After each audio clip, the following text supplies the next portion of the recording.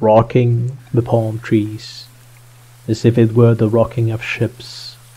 In my homeland, I start evoking the breezes from my gentle lake, like a fresh perfume, like a touch of sweet love, provoking with warm breath the enrapture of the bright sun. The waves of my lake resemble crystal gulls, which on vain caravans follow a stream of beautiful thoughts.